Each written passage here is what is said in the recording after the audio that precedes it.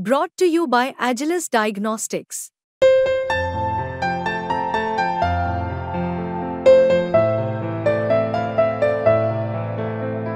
Agilus Diagnostics. नमस्कार, आपके साथ मैं दीपिका शर्मा और आप देख रहे हो क्राइम तक वर्ल्ड क्राइम बुलेटिन में शुरुआत करेंगे सबसे बड़ी खबर बांग्लादेश से सामने आई है, जहाँ पर कई दिनों से परिस्थितियाँ काफ़ी ज़्यादा खराब हैं आरक्षण के चलते। लोग प्रदर्शन कर रहे हैं। अब इसी बीच वहाँ पर जो भारतीय छात्र मौजूद हैं, उनका पलायन शुरू हो गया है, वो भारत वापस आ रहे हैं। ये तमाम चीज़ें जारी हो गई हैं।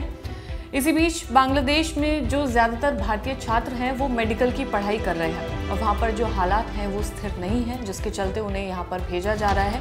इसी के साथ भारत के करीब 250 ट्रक वहाँ पर फंसे हुए हैं, ड्राइवर्स भी वहाँ पर फंसे हुए हैं, जिनके लिए अब पूरी प्लानिंग प्लॉटिंग की जा रही है कि वहाँ से ट्रक्स को कैसे निकाला जाएगा, क्योंकि इसके चलते इम्पोर्ट एक्सपोर्ट का काम भी काफ़ी ज़्यादा खराब होता हुआ नज़र आ रहा है। भारत और दक्षिण एशिया की सबसे बड़ी लैंड पोर्ट पेट्रापोल पर व्यापारिक गतिविधियाँ लगभग ठप हो चुकी हैं। इस दौरान यहाँ पर भारतीय व्यापारिक संगठन और क्लियरिंग व फॉरवर्डिंग एजेंट लगातार कोशिश कर रहे हैं कि किसी तरह से बांग्लादेश में फंसे भारतीय जो ड्राइवर्स हैं ट्रक्स हैं, उनको वापस यहाँ पर भारत सीमा पार कराई जाए।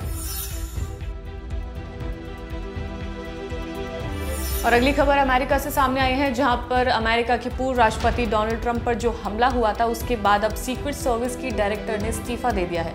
उन्होंने पहले पूरी ज़िम्मेदारी अपने ऊपर ली है और उसके बाद उन्होंने इस्तीफा दिया है। बताया जा रहा है कि रिपब्लिकन पार्टी की तरफ़ से उनके ऊपर काफ़ी ज़्यादा दबाव बनाया जा रहा था, जिसके बाद अब उन्होंने ये इस्तीफा दिया है। इसी के साथ सीक्रेट सर्विस की चीफ के इस्तीफे पर Republican House Speaker Mike Johnson ने एक प्रेस कॉन्फ्रेंस में कहा कि मुझे खुशी है कि उन्होंने सही काम किया। उन्हें, उन्होंने कहा कि इसमें बहुत देर कर दी। उन्हें कम से कम एक हफ़्ते पहले ऐसा कर लेना चाहिए था, यानी कि इस्तीफा दे देना चाहिए था। मुझे देखकर खुशी हुई कि उन्होंने रिपब्लिकन और डेमोक्रेट दोनों की अपील पर ध्यान दिया। इसके बाद उन्होंने आगे कहा कि हमें सीक्रेट सर्विस में अमेरिकी लोगों के विश्वास और भरोसे को फिर से बनाना होगा। यानी कि रिपब्लिकन पार्टी की तरफ़ से डायरेक्टर पर दबाव बनाया जा रहा था, क्योंकि भारी चूक इस सिक्योरिटी में देखी गई है, जहाँ पर डोनाल्ड ट्रंप पर गोली चलती है और वो कान को छूकर निकल जाती है। इसलिए काफ़ी ज़्यादा सवाल सीक्रेट सर्विसेज़ पर उठाए जा रहे थे, जिसके बाद ज़िम्मेदारी लेते हुए अब सीक्रेट सर्विस की डायरेक्टर किम्बर्ली चीटल ने इस्तीफा दे दिया है।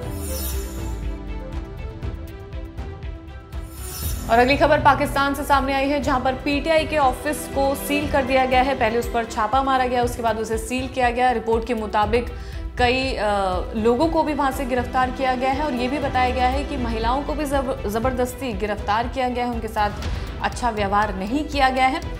इसके अलावा कई कार्यकर्ताओं को गिरफ़्तार किया गया। इनमें पीटीआई के सूचना सचिव रऊफ हसन भी शामिल हैं। पार्टी अध्यक्ष गौहर खान ने कुछ दिन पहले सुरक्षा बलों पर आरोप लगाया था कि उन्होंने पिछले दो महीनों में पार्टी के सौ बड़े नेताओं को अगवा किया है। इसके अलावा पुलिस महिला कार्यकर्ता को ज़बरदस्ती गाड़ियों में बिठाकर अपने साथ ले गए।